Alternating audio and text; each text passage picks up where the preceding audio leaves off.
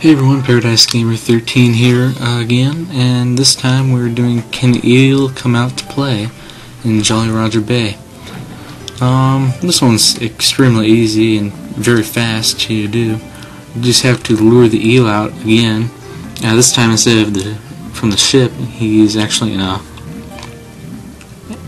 he's actually in a hole in the uh, sea wall here and uh, same strategy as last time just kind of go near him. He will lash out at you. But um, you just gotta swim away to avoid him like kind of like that. Kind of go near him but you don't have to be like right in front of him per se. And then the star will be on his tail. Uh, keep in mind that he still can hurt you when he's swimming around like that like he just did to me. But uh, you get the star there.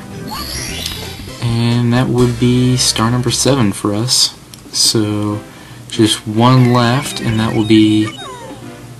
Um, know, I don't exactly remember the next of it, the next one off the top of my head, but it's also it's the third star in Jolly Roger Bay, and um, thanks for watching. I hope you enjoyed.